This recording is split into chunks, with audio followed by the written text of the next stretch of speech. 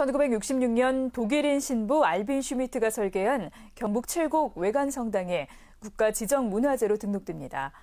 문화재 당국이 왜관 성당의 건축사적인 의미와 역사적인 의미가 크다고 평가한 겁니다. 알빈 슈미트 신부의 설계로 1966년 지은 왜관 성당은 전례의 공동체성을 강조한 제2차 바티칸 공의회의 정신을 교회 건축물에 구현한 우리나라 첫 번째 성당입니다. 전통적인 교회 건축의 틀을 깨고 부채꼴 모양으로 성당을 지어 성당 어느 곳에서도 제대를 훤히 볼 수가 있습니다.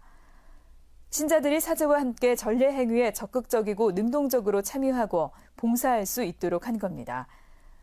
또 근대 독일의 건축 양식에 따라 외형을 단순하게 하고 실내 공간의 나눔과 효율성은 극대화했습니다.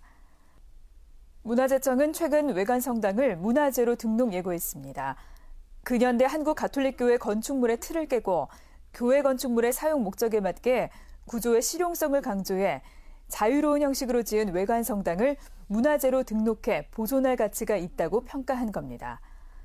이 밖에도 문화재청은 1908년에 지어진 옛 군산세관 본관을 사적으로 지정 예고하고 옛 조선 운송 주식회사 사택 등 근대 건축물 4곳을 문화재로 등록 예고했습니다.